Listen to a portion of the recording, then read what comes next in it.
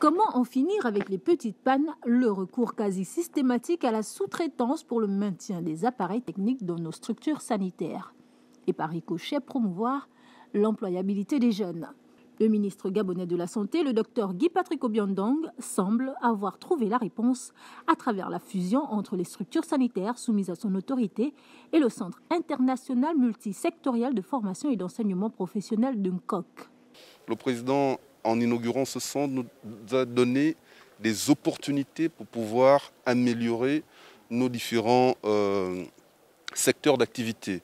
Et le ministère de la Santé l'a saisi. Nous allons signer des conventions avec le Centre national d'Ongkok pour pouvoir formaliser ce partenariat qui va naître afin que les étudiants qui sont ici puissent euh, faire des stages dans nos formations sanitaires et ce n'est qu'ainsi qu'ensemble nous pourrons euh, véritablement relever le niveau de nos plateaux techniques et ne plus peut-être concourir à l'aide extérieure pour la maintenance de ces équipements.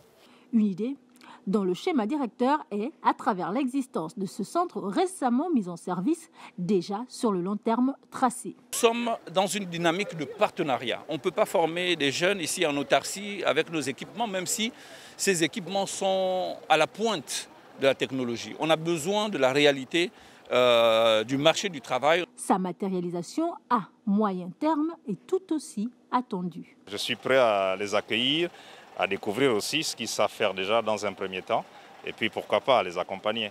D'autres départements ministériels gagneraient à se servir de ce centre professionnel pour améliorer leurs services conformément à la vision de développement du numéro 1 gabonais.